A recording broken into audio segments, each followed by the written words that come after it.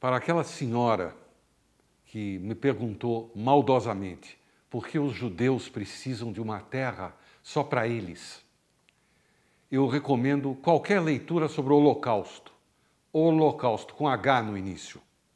Se der muito trabalho, assista à lista de Schindler, que também dá para entender.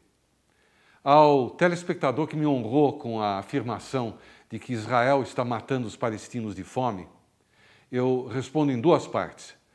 Primeira, não acredite no que as grandes agências notícias escrevem e a grande mídia repercute, o que depois vai parar nas mídias sociais. Leia um pouquinho do antagonista da Gazeta do Povo no Paraná, da revista Oeste. E se você falar inglês, o Jerusalem Post é uma bela referência. Segunda parte. Uma guerra é sempre uma tragédia. Sempre morrem inocentes. Sempre morrem jovens e crianças com uma vida inteira pela frente.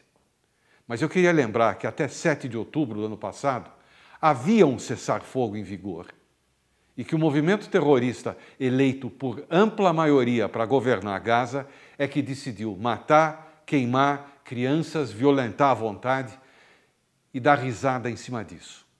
Finalmente, aos meus poucos patrícios que afirmam que Israel não tem nenhum direito ao pedacinho de terra que lhe foi dado, eu encerro com a descoberta, nessa semana, de uma caixinha de moedas.